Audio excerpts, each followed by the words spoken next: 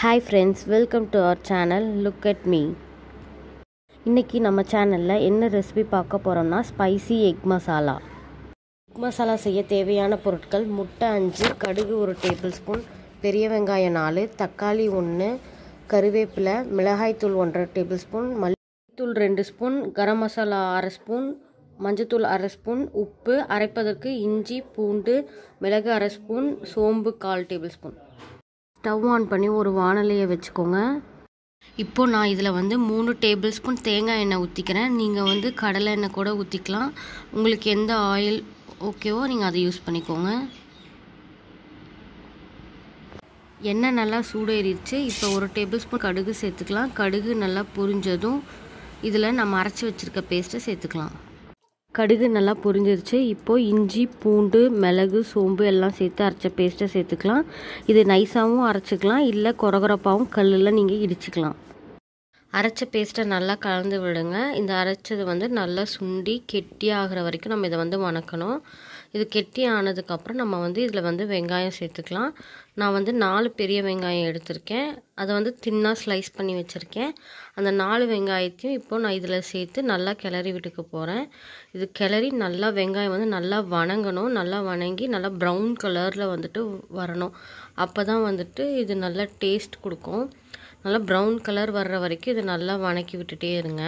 வெங்காயம் வந்து colour change ஆகிடுச்சு இந்த ஸ்டேஜில் வந்து நம்ம எடுத்து வச்சுருக்க ரெண்டு பச்சை மிளகாயை ரெண்டாக வெட்டி சேர்த்துக்கலாம். உங்களுக்கு எவ்வளோ காரம் வேணுமோ நீங்கள் அதுக்கேற்ற மாதிரி நீங்கள் பச்சை மிளகாய் சேர்த்துக்கோங்க. இது கூட நான் வந்து ஒரு கொத்து கருவேப்பிலையும் சேர்ந்து நல்லா வணக்கி விட்டுக்க போகிறேன் நல்லா வணங்கி வெங்காயம் வந்து இன்னும் நல்லா கலர் சேஞ்ச் ஆகி வரணும். நல்லா ப்ரௌன் கலரில் வரணும். அது வரைக்கும் நான் வந்துட்டு இதை வணக்க போகிறேன் பாருங்கள் இப்போ வெங்காயம் வந்து ஓரளவுக்கு ப்ரௌன் கலர் வந்திருக்கு. இது இன்னும் நல்லா ப்ரௌனிஷ் ஆகணும். இன்னும் நல்லா வந்துட்டு வணக்கி விட்டுட்டே இருந்தோம்னா பாருங்கள் இந்த ஸ்டேஜ் வந்துடுச்சு. இப்போ வந்து நம்ம வந்து மசாலாலாம் சேர்த்தோம்னா கரெக்டாக இருக்கும்.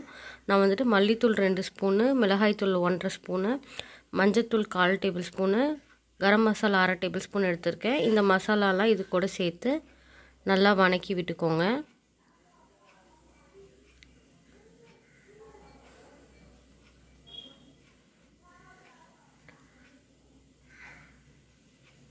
பாருங்கள் இப்போ நம்ம வெங்காயத்தோட மசாலா நல்லா வந்து மிக்ஸ் ஆகிடுச்சு இப்போ ஒரு தக்காளியை வந்து நல்லா கட் பண்ணி வச்சு இது கூட சேர்த்துக்கோங்க.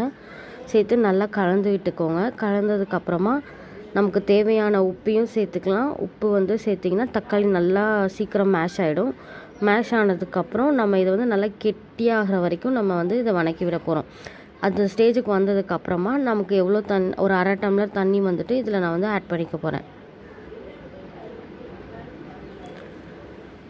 தண்ணியை ஆட் பண்ணி இப்போ மிக்ஸ் பண்ணி விட்டுருங்க. மிக்ஸ் பண்ணி ஒரு டூ மினிட்ஸ் கழித்து இதில் வந்துட்டு நம்ம வந்து எக்கு பாயில்டு எக்கை போட்டுக்கலாம். மசாலா இந்த கன்சிஸ்டன்சிக்கு வந்ததுக்கப்புறமா நம்ம பாயில் பண்ணி வச்சுருக்க எக்கை வந்து சுற்றியும் வந்து கீறி விட்டு நம்ம இதில் வந்து சேர்த்துக்கலாம். சேர்த்து நல்லா மிக்ஸ் பண்ணி விட்டுருங்க. மிக்ஸ் பண்ணி ஒரு டூ ஒரு டூ டூ த்ரீ மினிட்ஸ் இருந்ததுக்கப்புறமா இதை நம்ம வந்து ஸ்டவ் ஆஃப் பண்ணி பிளேட்ஸ்க்கு ட்ரான்ஸ்ஃபர் பண்ணிடலாம். ஸ்பைசி எக் மசாலா வந்து ரெடி ஆகிடுச்சு பாருங்கள் ஸ்பைசி எக் மசாலாவை நான் வந்து இப்போ பிளேட்டுக்கு வந்து ட்ரான்ஸ்ஃபர் பண்ணிட்டேன். எக் மசாலாவை நீங்கள் ரைஸ் கூட நீர் தோசை கூட இல்லை பத்திரி கூட வச்சு சாப்பிட்டிங்கன்னா சூப்பராக இருக்கும். இந்த ரெசிபி உங்களுக்கு பிடிச்சிருந்தா லைக் பண்ணுங்கள் ஷேர்